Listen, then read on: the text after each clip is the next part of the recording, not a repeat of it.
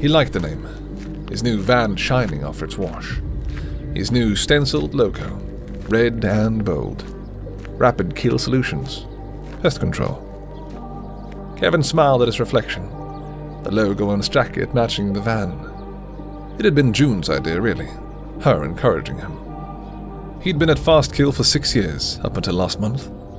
They'd been a good employer, fair, generous, but he'd felt he wasn't developing. Not really. Then June's gran had passed, and she'd been left a little money, and that's when they'd started talking. She'd been so brilliant, encouraging him, telling him he could do it. He had married the right girl, and he knew it. Fastkill had been brilliant about it, his boss, the old man Ganesh, saying he'd been a good employee and wishing him well. But now Kevin had to make a go of it, his own company. He'd put leaflets through hundreds of letterboxes last week, and it had paid off. Three jobs. The last one being here, at 35 Shawcross Avenue. Mrs. Blakely. Cockroaches, she'd said. An infestation, she'd added. Kevin nodded as he checked the back of the van. He had everything on board. He'd sorted out before you could say Jack Robinson. His years of training standing him in good stead to complete the task. You had to follow three stages quantify, identify, nullify. It wasn't enough to find the pests, old Mr. Ganesh said. You need to find what's attracting them. Once you've established that, then you can make a plan. Set your traps, lay your bait, and establish a kill zone. Quantify, identify, nullify. Kevin knew the old man was an expert. Never underestimate the enemy, he'd say. They've been around a lot longer than we have, and they'll still be here once we've destroyed the planet. He'd set up Fast Kill over 30 years before. What he didn't know about pest eradication wasn't worth knowing. The house stood on a corner plot, three roads merging in front of it. The woman that opened the front door looked to be in her 50s, slender and tall, very dark skinned, striking too. A full black headscarf, her hair completely covered, a long, thin black dress. Clearly a religious lady of some kind, slightly anxious. Her face was hidden by a surgical face mask, but he knew the look, though. That posture. People weren't used to pests. It did something to them. Their faces, the fear he could read, the concern. He held up his ID card on its lanyard around his neck. It was just like the ones Fast Kill used, showing his picture and his qualifications. Always reassured clients. He smiled and stepped inside. She thanked him for coming so quickly and started talking immediately. Kevin now calming her down, reassuring her, her tone still anxious. It's cockroaches, she said, shuddering. Her voice high and emotional. I came downstairs last night to get some milk. I heard a kind of whispering noise, and as soon as I turned the light on, there they were, everywhere, scuttling around. She looked around nervously. Lots of them. How many? he ventured. She pulled a face. Fifty, at least. More, probably. I screamed and grabbed a broom and tried to hit them, and they all just scurried off. I'm afraid I just closed the door and ran back upstairs. It was just awful. I didn't sleep a wink. When I came down this morning, they'd gone, but they must be somewhere. Hiding. I just know it. He listened, putting on his concerned face. Fifty? More like five. He'd heard this before. People always exaggerated. He looked at the hard marble floor, the crisp white walls, a smell of cleaning polish heavy in the air. This was not a place any self respecting pest would want to call home. Clean, hard, no dirt or food waste anywhere. Not cockroach territory, if indeed it was cockroaches. He started his inspection, looking for the usual clues droppings, shell casings. The house was immaculate. In fact, it was so clean, it was a wonder she had any problems at all. Most pest incursions needed a food source. This place was almost surgically clean. Warm, too. He looked puzzled. Was there anywhere he hadn't seen? He said. The woman looked troubled, briefly. Oh, I forgot about the cellar, she said. I don't use it, not since my poor husband. Well, she trailed off. He passed some years ago. Her eyes filled with sadness. He used to deal with things like this, you see. He looked away, embarrassed by her grief.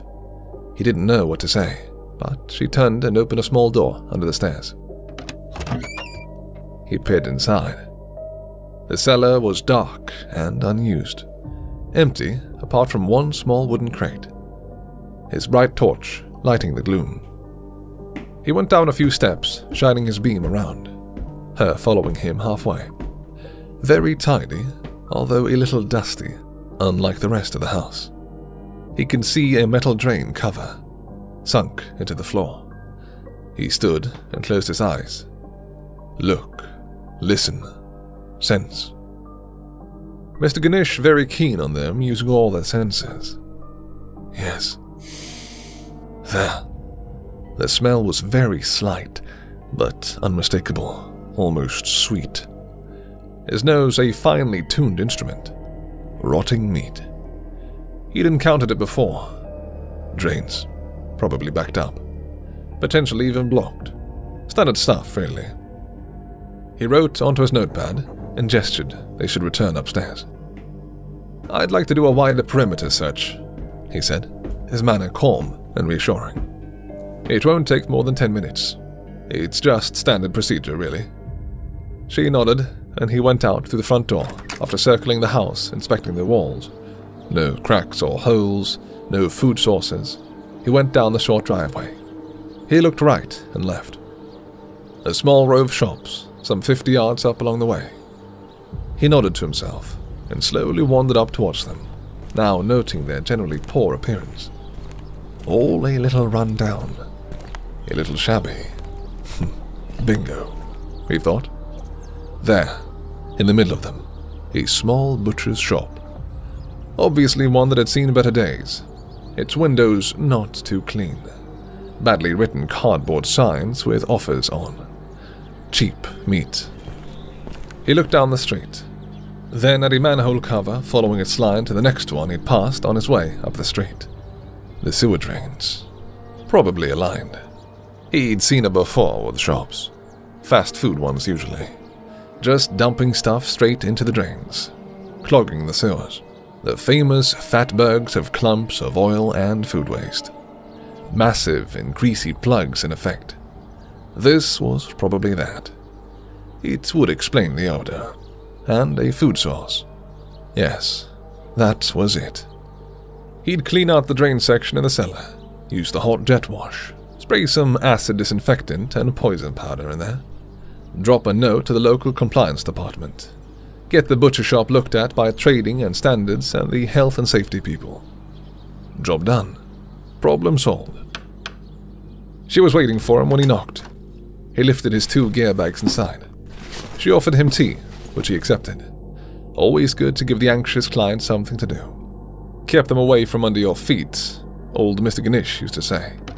He pulled the small door open and went down the stairs. They creaked with his weight and that of his gear. No one had been here in a while, he thought. He paused as he heard a kind of whispering noise. It stopped as he remembered Mrs. Blakely's description. Probably just the wind under the doorframe. He stepped onto the dusty concrete floor and scanned the area. Slowly, he pulled on his gear, his heavy gloves, knee pads, face shield, and helmet. His helmet torch now coming into play. Nothing. Though that wasn't necessarily a sign. Cockroaches were clever, incredible insects. Intelligent. Old Mr. Ganesh said they were smarter than half the planet. One day they'd adapt, organize, and identify their enemy. He'd laughed and said then there'd be trouble. Finding food was their main preoccupation. Give them enough of it and they'd take over. He was a wonderful man, full of useful information and interesting opinions. A true mentor. Grunting slightly, he pulled the drain cover up and back, the smell now a little stronger. He peered into the void, his head torch illuminating it instantly. It was wide, around three feet across, he guessed. A section of dark water pooled at the bottom of its curve. Still, it looked very clean. Unusually so, he thought. The water pressure was probably strong enough to wash everything through, slightly blowing off his theory about the butcher shop up the road. He peered inside again, the smell slightly stronger. Behind him, he heard Mrs. Blakely. Can you see anything? She said, her voice now oddly muffled, probably her surgical face mask. Kevin reached out his gloved hand and touched the thick concrete wall. It was warm. He glanced over his shoulder. That was strange. Mrs. Blakely looked taller. He began to wriggle forwards, reaching into the pool of water with his thick gloves. He began to feel around. He thought he'd found something and lifted it up. It, it was a human arm bone and hand, light and gleaming. He stared at it. In its skeletal hand were a bunch of ID cards on nylon lanyards. Fast kill. Pest death. Rat away. Bug killers. Various smiling faces. What the hell?